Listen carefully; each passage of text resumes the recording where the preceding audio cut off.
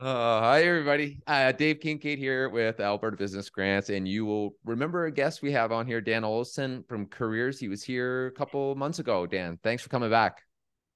Thanks, David, for having me. Um, something's come up. It's kind of cool in grants uh, where you have this situation. It's timing, and there's critical junctures. If you want to participate in programs, you usually have to be well ahead of them. That's and right. right, the summer job grants my favorite one. Dan, just a quick aside, where I would, you know, a lot of people aren't thinking in the middle of January about their summer student. It is just usually not top of mind. That's But that's when you got to get those summer student grants in to participate in those programs and hire. So we're kind of in a similar situation where we're dealing with students and we're timelines. So I said, hey, can we just talk about this? uh, you know, David, you know, the the program is changed a little bit from last year, and so that's why I'm happy to be here. So first of all, you know, what we're doing is we're we're we're increasing the amount of funding that's going to be available to employers uh, to hire local youth in careers programming. But see, I've changed it up a little bit. Okay, so what we're going to be doing, right, is we're getting uh, employers to to have that confidence or get excited about injecting youth into their business, and into their industry for, for the summer of 2023. Okay. But they apply for funding now with just an idea of what that student might be doing. And here's what it looks like. What is the mission and vision of the company? What is the foundation of the skills that you're going to be looking for for that for that intern to have an impact towards that vision and mission? And then we take that paragraph and we share it with every single Alberta high school. And that is going to be what's, what's going to inspire students to come forward and say, you know what? I'm inspired by the vision and mission of this company, not by the position. I, I want to learn the values of the company, not just the skill. I want to put experience before education. Okay. And then this, this grouping of students is going to come forward and ask more questions. They're going to say, hey, I, I saw this, this paragraph or this, this saying or this write up about this company. What kind of skills are they going to be looking for? Do, do they even know yet? And as we get closer to the start date, we're going to be working with that company to kind of refine what the tasks and responsibilities and objectives of that internship is going to be to the employer's needs closer to the start date. Mm. It's such a gap, eh? It's interesting to hear you talk about like I mean, I think of an employer looking to hire. There's a great opportunity to find some young talent in. I know even working in tech spaces, like trying to find tech talent is so difficult, and they're trying to build these long term. The companies that are really, you know, doing well. Um, and so it's funny to hear you say what matters to the students and then yeah. bringing the students because i would imagine for a lot of kids 16 17 18 years old they don't want to work there they're not going to work there like they need to understand why they're going to go there. Yeah absolutely you know when i when i talked to the students again you know a couple years ago it was uh, values driven employers. Yeah. Right? And, and they want to add and the students want to add value to that right away right?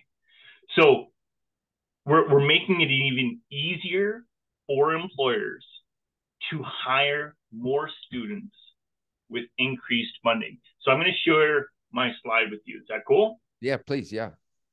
So here, here's what uh, the funding kind of looks like. All right. If, if, if an employer wants to take a, a student during the school year, you know, and have that student work for 125 hours, we would recommend maybe $900.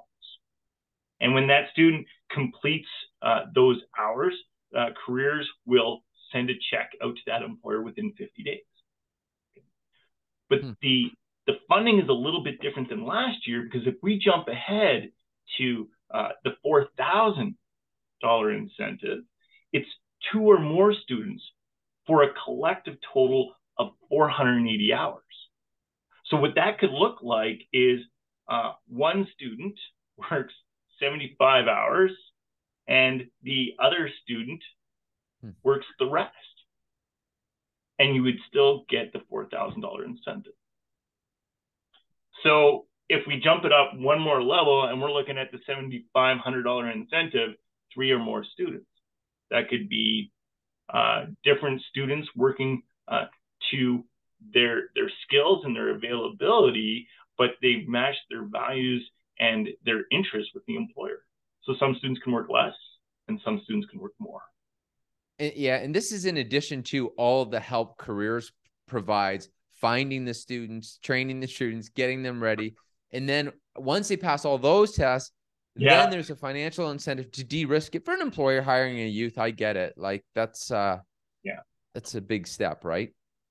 Yeah. So of course all of career services uh, and resources are going to be free to the student, to the school, and, and to the employer in creating that awareness with the, the student population, right?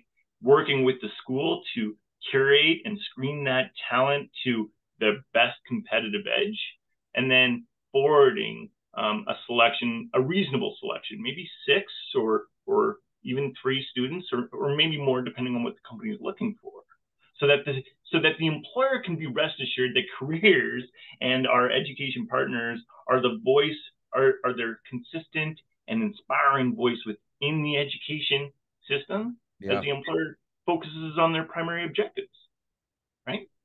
So right now, Dan, with with this program, I get it. So talk us through the timeline. It's November 2022 when you're watching yeah. this. So just walk us through the timeline. Okay, so the Youth Internship Incentive Program uh, was released at the beginning of, of October.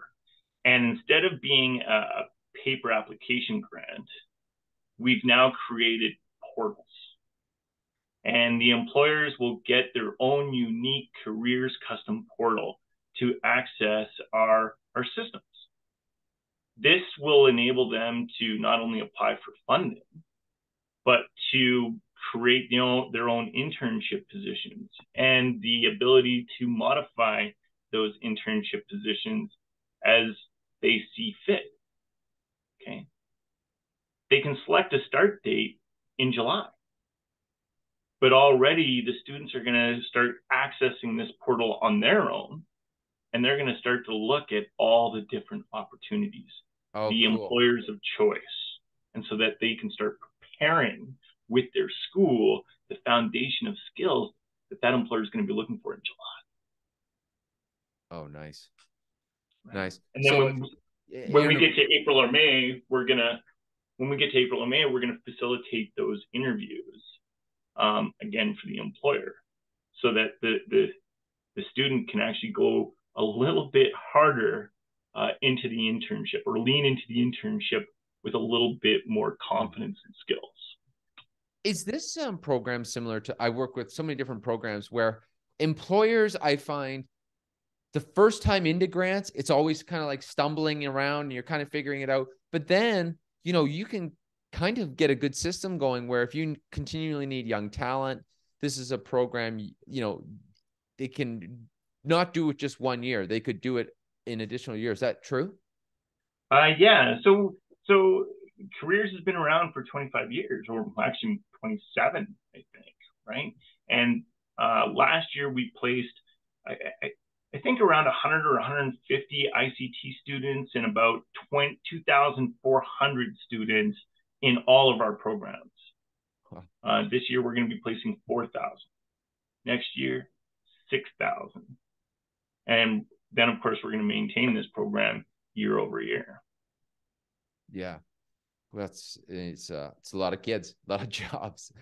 Uh that's great. So for if i guess if employers are listening to this as always uh best place to take what's the next step you'd like to see them take down you know what? Next step uh we're going to help you create that portal. We're going to help you apply if this is your first time we're going to we're going to help you apply for that grant so that it takes less than 20 minutes. Um, then we're going to approve that grant uh, within seven days so that you know what your action steps. And if you're not approved right away for whatever reason, then I'm going to come back and I'm going to help you fix that grant right right away. Okay. Yeah. It's so there's so much. Uh, uh, the reason I love this is it's so advantageous for an employer out there who's like needs a little bit of help, kind of unsure about what to do. Like this is great. You find out quick. You get assistance. I mean, it's and you know, some young person gets that eh, the feeling of helping someone else get a career and become an adult. It's kind of cool too, right? Like it's just great all around. Careers, the careers team is going to do whatever we can uh, to best support those values driven employers. And, um, you know, for the employers, we really have to take a second and think about this. These, these are, these are top tier talent hmm. uh, that are eager to learn beyond the curriculum. And then careers and our education partners, we're going to be there supporting the, the intern and the employer throughout the whole process, not just to the hiring stage, but after as well. Okay. Yeah, that's great. And then when we think about it from a promotion perspective, careers works with every single high school. So potentially, if we think that there's a hundred to 150,000 high school students, what is what is what would it mean to you, David, if if you know a, even one percent of those students came to you and said, "I'm inspired because of what this organization is doing.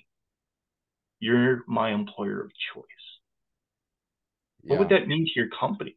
Well, it's a big deal. I mean, I'm dealing with them all the uh, companies all the time and finding talent, keeping talent. It's the number one issue. It's gonna be gonna looks like it's gonna be the number one issue for a long time. Yeah. So um this is this is just great, Dan. And I I mean, so for employers who are out there, by all means, reach out to careers. What's the uh, website again, Dan? Um, it's www.careersnextgen.ca. Okay. There you go. So you can have that and reach out um, and get some assistance getting in that portal so you can get rolling on this. Dan, any final words from you before we sign off here? You know what? Uh, the only other thing I want to mention is that some of the employers are going to be thinking, well, what can a high school student do? Mm. Right. And I just want to remind them there that careers is also going to be there to help you custom build that internship to solve business challenges with technology. Whatever the tasks, whatever the objectives are, we have enough understanding of the curriculum to create that alignment for you. Yeah, I think it's a great point, right? Because uh, that is a good, it's going to be a fair question. Hey, if we do this, what we can do, you're getting the help, getting the training, and then um, you're getting even the assistance on putting them. But I imagine there's some employers out there that it, this is a no-brainer for them. They need some they need some help, and this could be a great start point point. So that's why we had you come back, Dan. Thanks for this. So I'd encourage people. He's looking for innovative companies out there. So reach out to careers and let's help some youth get working and uh, help your business grow. Most importantly, thanks a lot, Dan. Thank you, David. Uh, I'm looking forward to always connecting with your your listeners to help prepare Alberta for the road ahead. Thank you again. See ya.